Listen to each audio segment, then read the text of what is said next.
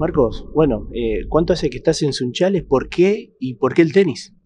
Bueno, eh, gracias por la invitación. En Sunchales estoy hace cinco años, eh, vine a trabajar y bueno, y comencé a jugar el tenis después de la pandemia en el 2022.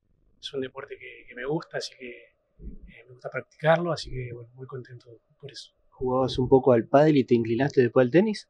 Sí, jugaba inicialmente al pádel y bueno, y y después me incliné por el, tenis. Te, insertaste rápidamente en la disciplina, porque hace un poco más de dos años que estás jugando al tenis y, ya en los últimos meses la verdad que estás dando que hablar.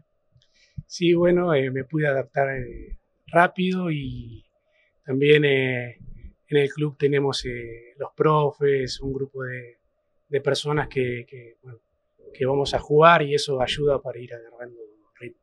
¿Cómo te recibieron los chicos ahí en el club? No, bien, bien, eh, la verdad que muy bien, eh, muy contentos, la verdad que siempre, bueno, me apoyan, me, me, van incentivando, así que la verdad que muy agradecidos a, todos.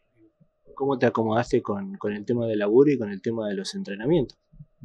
No, eh, bueno, en los entrenamientos por lo general son, son dos veces a la semana y después los fines de semana también buscar pelotear, jugar con con los compañeros y demás. Eh, y con el trabajo, bueno, nada, es, por, por, la mañana y parte de la tarde, pero el entrenamiento es eh, tardecita, noche. Contanos de los últimos campeonatos, porque la verdad es que los últimos torneos que estuviste jugando saliste campeón. Morteros, eh, Brickman, si no mal recuerdo, San Jorge. Sí, eh, fueron tres fines de semana donde tuve bueno, la suerte de, de, de ganar los torneos, dos en singles de forma individual, en Brinkman y en Esperanza, y el otro en San Jorge en doble mixto con, con mi compañera, con, con, Anabela Balducci, que bueno, que le mando un, enorme reconocimiento porque fue, fue fundamental. Eh, ¿Te sentís más cómodos jugando solo en single o en dobles? ¿En doble mixto? ¿En doble con varones? Porque no es lo mismo.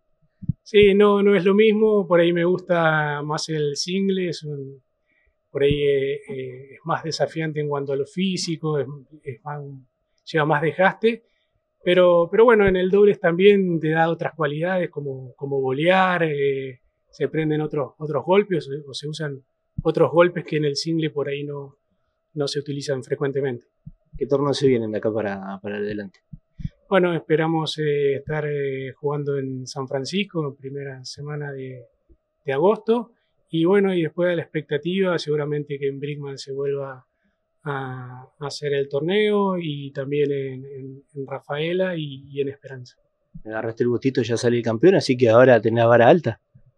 Ah, bueno, son, son, por ahí son circunstancias que hay veces que uno cuenta con suerte.